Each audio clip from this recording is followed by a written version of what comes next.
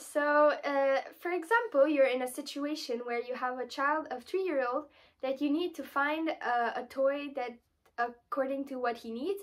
So, for example, this kid likes to pile up uh, different toys together, but there aren't a lot in the room. Well, you need to find some for it. So the purpose of this how-to is uh, to find out a good, a good toy for the right kid and according to its age, its development, uh, the criteria of the object or the toy, and also the category of the classification of ESAR.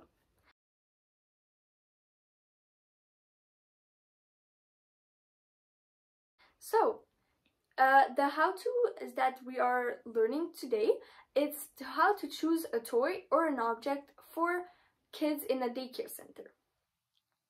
So we will explain all the steps. So, step one. Um, here we will be choosing the toy or object depending on the age of the children. So, uh, well, it depends of who they, like what age they are because sometimes it couldn't, it's not like adapted to them. For example, we have a, a game, a card game here that is for four year olds and up. So like it depends on how they are because let's say, you know, reading numbers at two year old isn't like they won't know how. So it has to be adapted to the age because younger it can also be damaging for like let's say it's too heavy for them or it depends on what toy you choose. Step two. So step two you look at the child's development uh, where they are at. So basically you need to know uh, you need to choose an object that is adapted to their uh, development been and that they're capable to use it and to play with it without uh, looking at it and not knowing what to do with it because uh, it's not adapted to them. So for example, for a young kid, uh, this is going to be used uh, just to roll around and play with it and look at the dots and maybe connect it to stuff. But like let's say for childs that are children that are older, you can really look at the numbers and use it as the real function of a dice and calculate or whatever. So, step 3 so this is the step where uh, we have eight criterias for to choose like the toy or the object. So the first one, um, it has to be solid. So let's say like you have to be able to touch it, manipulate it, and it won't break. So uh, for that, like it has to be like that so that the to prevent that the children hurt themselves and uh, that it breaks and exactly they hurt themselves. So it also has to be uh, shock resistant. So then after we have to make sure that it is safe for the children. So uh, we have to make sure that the material is in good quality and it is good and there is no dangerous material that the children would hurt themselves because like we use it to prevent them to hurt themselves and um, also that the the children can play with the toy without like a constant supervision of the adult like right beside them like you know the adult has to watch everybody at the, always but like not constant repetition of supervision for one children because it is too like dangerous. So that's why it has to be really safe.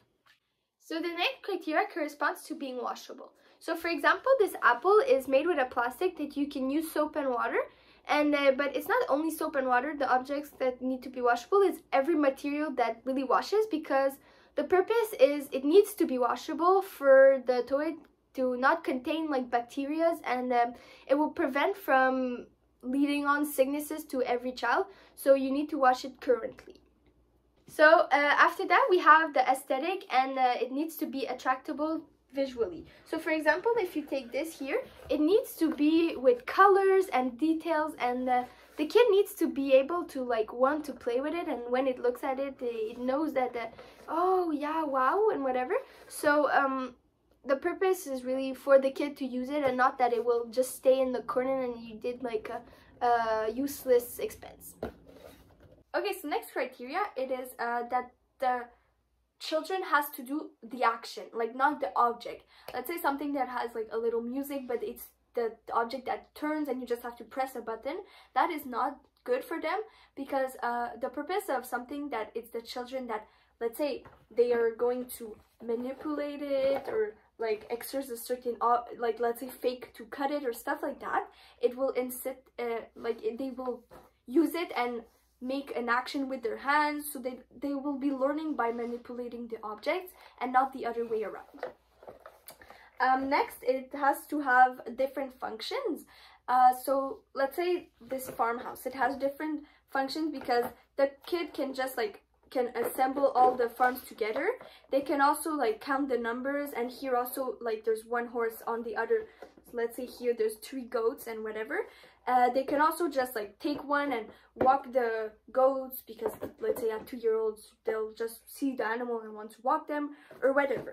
So uh, the purpose of that is like to make the children learn uh, different like stuff you can do with a toy or like it makes them want to use a toy differently and stuff like that and not always use it for the same thing because eventually they'll get bored or they won't want to use it anymore and uh, yeah so it's just like it helps them learn also and stuff like that so the next criteria consists to um, the sound. It has to be controllable because uh, it it can't be too noisy in the room because you need to um, be able to control it. For example, like there are toys that have sounds on it. You need to be able to adjust the sound, like um, lower it, let's say.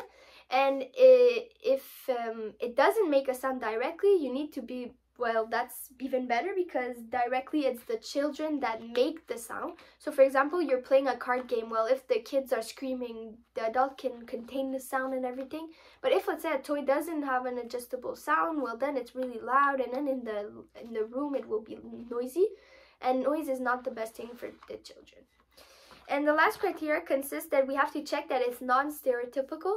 So um, basically, as an adult that you're looking for a toy, you have to use your judgment and just like take off all the stereotypes you know or you learned and uh, grown up with and really um, include every game for boys and girls because it consists to just the concept of inclusivity and it's to purpose that every boy and every girl can play with every toy they want and um, yeah. So step four, uh, this is where it's like a classification of ESAR. So those letters, it means um, different type of games. So let's say the first one, it's uh, the rule games. Then we have the symbolic games that like it's let's say cooking or the the everyday life stuff. Then we have uh, the construction or assembling games. And then we have like exercise game that like mainly uses the hands so or like the feet or whatever like a body part and not like literally playing so uh we use this classification uh to let's say do a give a variety of toys to the children and to also like choose different uh, like depending on the children what they need or where they are in their development and their age and stuff like that to make them like a variation of stuff and to make them play with the material and yeah, so these uh, categories and classification are essential. To conclude, this how to choose a toy is essential for a person that really wants to choose the toy, the right toy uh, corresponding to the age, the development, the criteria for the object, and the classification of the category for the child you're uh, looking a toy for. So um, basically, the kid of three-year-old uh, in the scenario, uh, well, this would be perfect for him because he really liked piling up objects. So if you bought this, he could first of all pile up things, and then next, like she said, he can discover everything around it. So thank you.